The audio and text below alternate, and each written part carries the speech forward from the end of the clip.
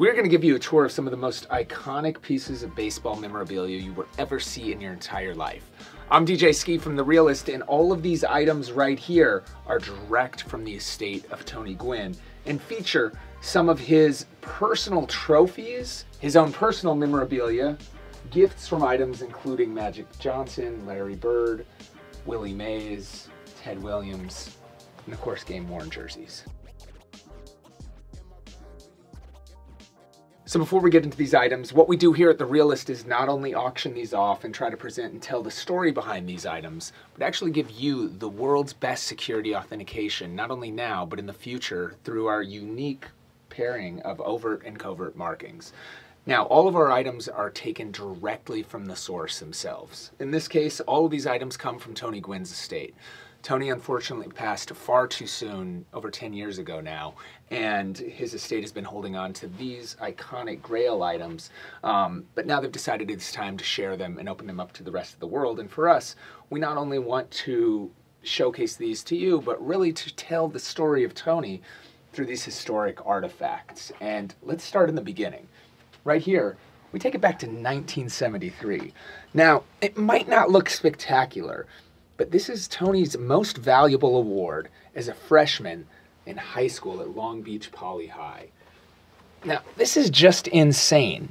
Most people do not keep items this long, and Tony Gwynn and his wife, Mrs. Gwynn, were together for a long time.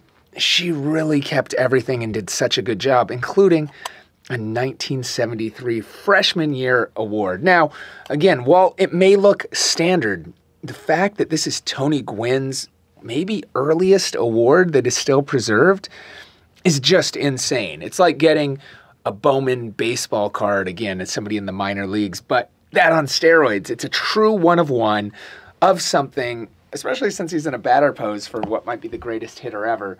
And just like a truly unique item you will rarely see for any player, and probably the only time you'll see that. Following up, we take it three years later to the 1976, slightly bigger Long Beach Poly Team Captain Award, again presented to Tony Gwynn. This one says his name on the actual plaque.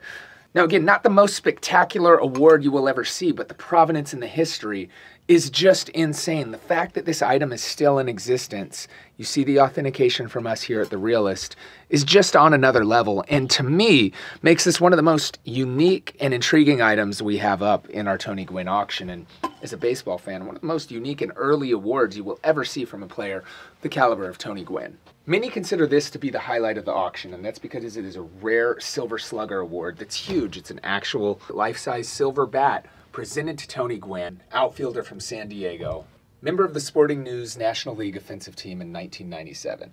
Also awarded that year were Jeff Bagwell, Craig Biggio, Jeff Blauser, Vinny Castilla, Larry Walker, Barry Bonds, Mike Piazza, and John Smoltz.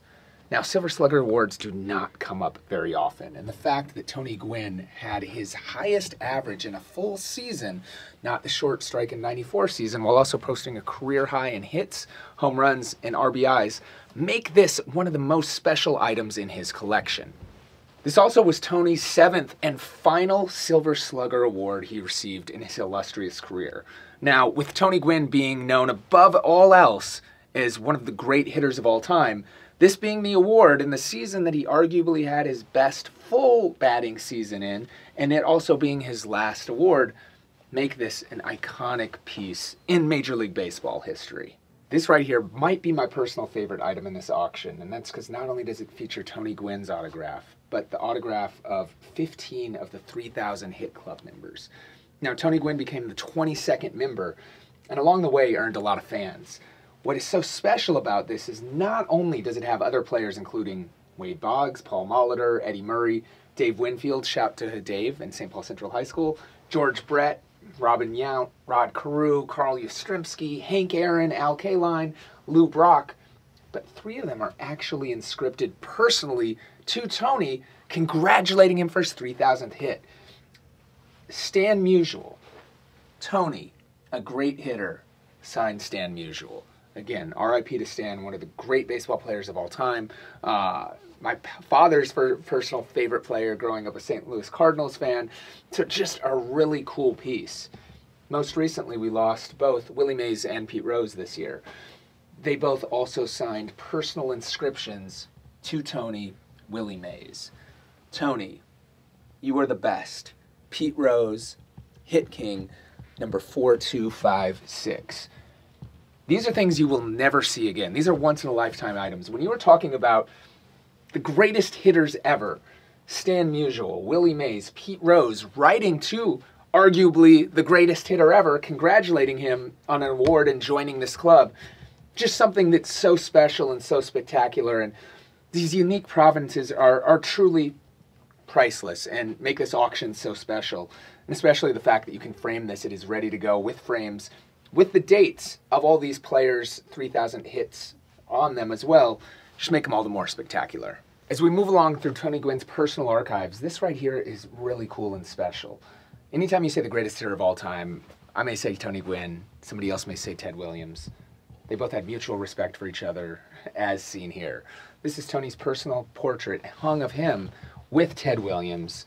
Again, probably the two best hitters by 90% of baseball's fans uh, would agree. In a sport that basically lives on numbers and history, sitting here together chatting from Tony Gwynn's personal archive. The provenance of this is what makes it so special. Moving along right here, again, RIP to the late, great Willie Mays. Not only one of the greats, but generally the player's favorite player. Almost every player, their favorite player was the Say Hey Kid. Um, this is a Sports Illustrated magazine from July 27th, 1970, celebrating Willie Mays hitting 3,000 hits. Now, that's not it. Not only is it framed, it is signed by Willie Mays to Tony Gwynn, saying to Tony, in honor of this 3,000th hit. Willie gave this to Tony right after Tony joined the 3000 Hit Club as its 22nd member. And the unique provenance, especially with both legends being unfortunately gone, especially Tony, far too soon. There were some other unique parallels between Willie and Tony Gwynn. They both got their 3000th hit in Montreal, of all places, which obviously no longer plays baseball.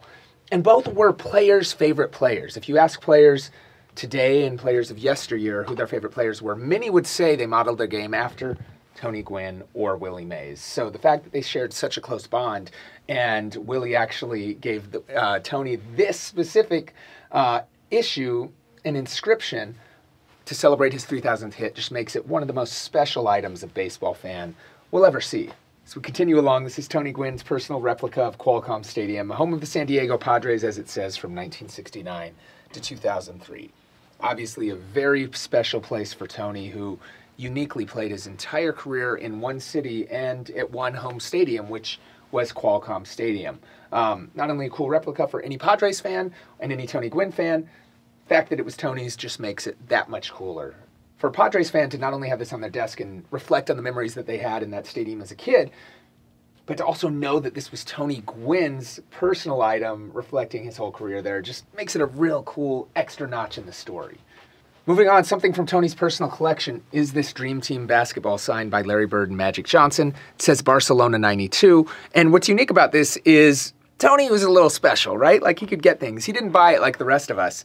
He actually got this in trade, apparently, between Magic and Larry, where he traded them signed bats for this signed Barcelona Dream Team 92 basketball with not only Larry and Magic's signature, with a Barcelona 92 inscription. Another fun fact is that Tony Gwynn was almost as good at basketball as he was at baseball. He was an all world player in high school and college and could have had a career in the pros. In fact, Tony Gwynn was drafted in the 1981 draft by the then San Diego Clippers. And that makes this piece all the more fun when you know the history that this was Tony's personal item from Larry and Magic and at the fact that Tony could have been an NBA pro player. This is so much fun. I could sit here all day going through this and reminiscing on these stories again. I can't believe, as a fan of baseball, that collected every Tony Gwynn card as a kid. Where I'm now sitting in the same room with just a fraction of the items up on therealest.com, of course, straight from the source, which makes the provenance impeccable. Um, to finish off this video, though, because we only have so many hours in the day, we're going to end with five jerseys. Let's start off with this 1999 Tony Gwynn jersey hit number 2997, August 4th versus St. Louis, signed in that beautiful Tony Gwynn signature. Now, fun fact about Tony Gwynn, he actually really took his time with his signature. Despite signing so many autographs over the course of his career, his was wildly legible. Another fun fact MLB's authentication program, one of the main reasons it was started was because of Tony Gwynn. Tony actually went to the souvenir shop in the San Diego Padres Stadium and saw fake autographs for sale from the team that they'd bought from another vendor. When you look at Operation Bullpen, which kind of was the thing that I guess accelerated MLB's authentication program, they found that up to 90% of memorabilia was fake, which is why it is so tough to trust anything that you buy out there and why we at The Realest only work with the source to get items like this. From Tony Gwynn, the 1997 National League All-Star Game jersey. Not only with Tony's name and number on here, at the time every player, depending on the National American League, got the same jersey, however, featured the team's patch on the shoulder, the All-Star Game patch and name on the front, of course, the nameplate on the back and number. And then for the 97 season, the Jackie Robinson 1947 1997 50th anniversary Breaking Barriers patch. And we have things of all caliber. This right here is just a Mitchell and Ness Cooperstown collection throwback that they gifted Tony Gwynn and he had in his archives. Um, not only did they gift Tony Gwynn this, he signed this one with a Hall of Fame inscription. Tony Gwynn, HOF 07 classic old school. This is what you think of when you think of an old school Padres jersey, similar to what he wore early in his career. It's a 1982 Cooperstown Authentic Collection, Tony's rookie season. Um, not game worn, but still very close Mitchell and Ness replica signed authentically by Tony. Now, right here, we have something that's very special to Tony. You might think it's Tony Gwynn's jersey. It's actually not, because if you look at the inscription, he did not play in 1977. This is the jersey of Whitey Wietelman. So Whitey wore number 19 as a coach for the Padres, and when he was done with his career, the Padres equipment manager got permission from Whitey to assign number 19 to Gwynn. Now, before Tony's first game in 1982, it was actually Whitey who physically brought Tony his new jersey. Now, Tony was excited because not only did a few players get to wear number 19, but he was happy he wasn't wearing number 53, which is what he wore in spring training. Now, when Whitey gave Tony this jersey, he said, don't disgrace the number. 10 years later, Whitey said to Tony, I think you're doing all right. And one fun fact, too, is if you look at Tony's 1982 Topps rookie card, he's wearing number 53 on the back. It's his spring training number that he didn't like. It was a little high up. When you get into the major leagues, you don't get the best numbers always, and they assigned him number 53 before Whitey so graciously let him touch number 19 so unique is this jersey, you can see the specific patches, stains, and 1977 emblem showing plenty of signs of wear from Whitey. Now, these stories are what make these items so special and true iconic pieces of history. In looking at it, you might think it's just a generic Padres jersey. You might even think it's a Tony jersey. And then when you find out it's Whitey's and the story behind it, that's what makes these artifacts and these stories withstand history and time and still relevant here today. Now for the finale, we have the jersey Tony Gwynn wore for his final Major League Baseball hit. On October 6, 2001 in Qualcomm Stadium, Tony Gwynn hit a double that would become his last hit in Major League Baseball. Hit number 3,141. Now, this is the actual jersey Tony wore during that game, complete with not only the Padres patch, but the Tony Gwynn 1982-2001 commemorative patch that all the players wore.